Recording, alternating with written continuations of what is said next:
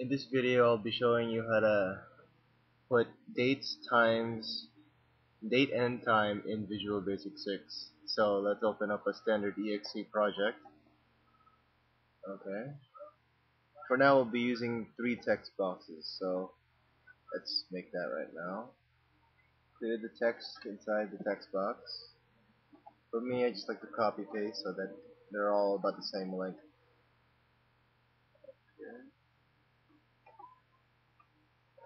and number 3. Okay. For now, we're going to put the code into the form load, so just double click in an empty space on the form to go to the private sub form load. Okay. For text 1, over here, text 1, we'll be putting the now, or in other words, saying putting the date and time of the system clock. In text 2, will be displaying the date and in text 3 will be displaying the time only okay? So go back to the private sub form load. The code starts off as uh, text1 text1 dot text is equal to now. Simple as that. Okay now text2 dot text is equal to remember we said text2 will be date so this date and then text three dot text, well, obviously time.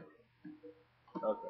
So if we run this, it displays the now, or the date and time, the date, and the time. But if you look at the text 1 and text 3, the seconds aren't moving. Okay, to solve that problem, we must put in a timer. So, go over here to the toolbar and add a timer to your form. Go to the properties, change the interval to 1000. Interval 1000 means 1 second. Therefore, interval 1 means 1 millisecond. So let's put in 1000 because seconds are in time. Okay, so go back to the timer, timer 1, double click to bring us to the private sub timer. Okay, so all we do is we cut and paste the two codes with the time. So cut and paste into the timer. So cut and then paste. So if you run this, the seconds should be working. Here you go. Okay, so now we have the now, the date, and the time. But if you look at the date, it's in the format of mm slash dd slash yyyy. So what if we want to say, for instance, the abbreviation of the month? Okay, that coding is in format. So uh, well, let's format text2. Text2 is the one with the date. So go to the place where the code, where the text2 is, right here in form load. So text2 dot text is equal to format open parentheses and then the object we are going to format. So text 2 dot text comma open quote. So we want the abbreviation of the month. So three M's for month. M M M. Space two day uh two D's for days, comma, and then four Y's. One, two, three, four for years. And then close quote, close parentheses. To run this, you should display the abbreviation of October. There you go. Oct. Okay, but what if you want the full spelling of the month? All you have to do is just add another M. Make sure that the format here in the last part is four M's. So run that, and now it's the full spelling of the month. Okay, so we have the now, the formats, and the time, seconds. Okay, for what if uh, maybe you want to retrieve information off a date. For instance, you want to retrieve the month of text 2, or the year of text 2, or the day of text 2. So here's the code for that. But first we must put in three text boxes. three little small text boxes. Okay, clear the text, and then copy paste.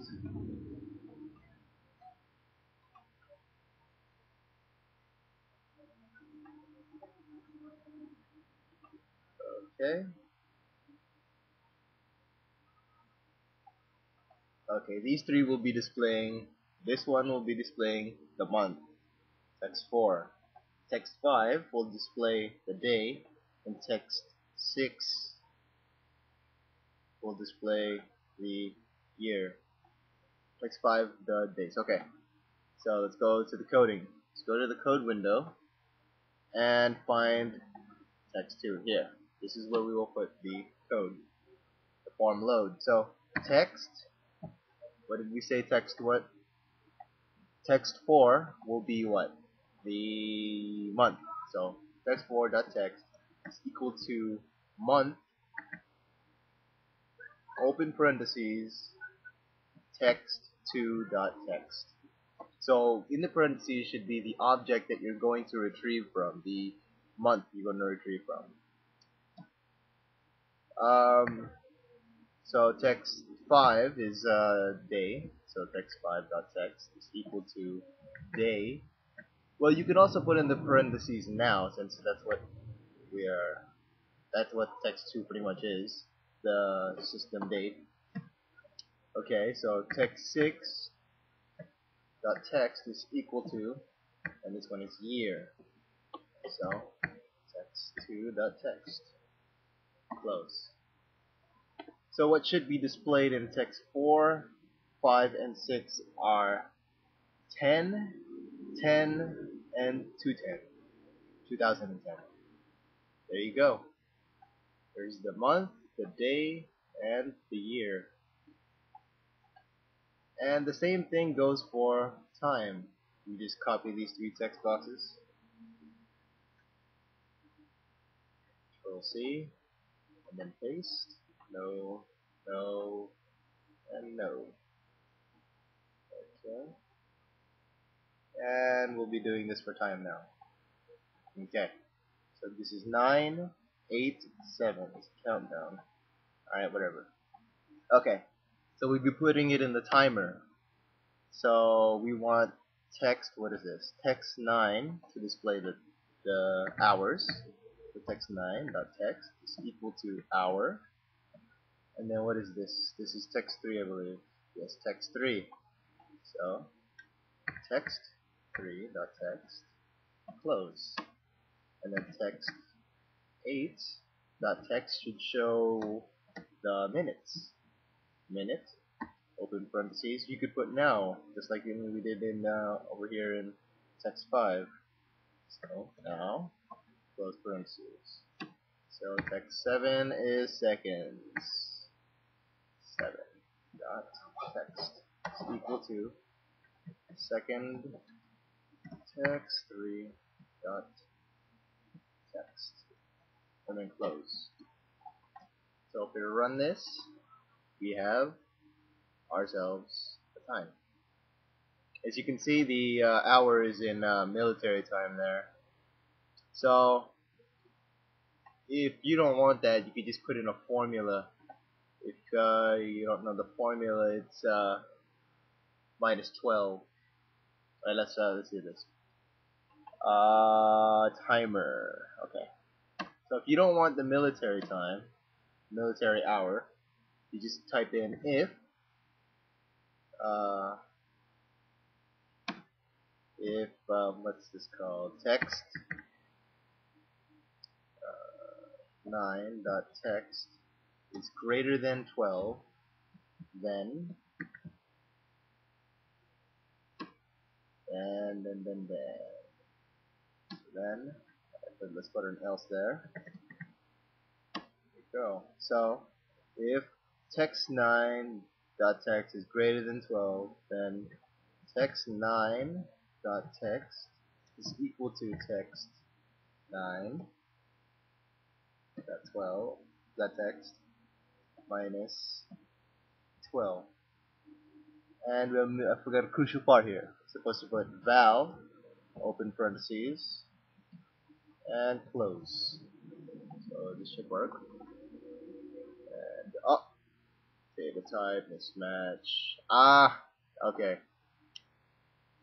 It shouldn't be in the what you call this. It should not be in the timer. It should be this code should be in change. So let's cut this code. Double click text9 to bring us to change and paste. Put in this code, this code back in. So if we run this, there you go. It's the formula. So it is 247. So what this really pretty much does is the timer calls, it, it takes the time from the system clock. So the system clock for the hour in military time is 14. So it the text 9 change reads that it's greater than 12. Therefore, text 9 will be subtracted by 12, making it time of the original time, regular time, and not military time. Okay, so let's see what we have here. So I've shown you the now, the date, the time, formatting of the dates, retrieving the year, I mean the month, the day, the year, hours, minutes, seconds, and that's pretty much it. That's the end of the tutorial. Thank you for watching. And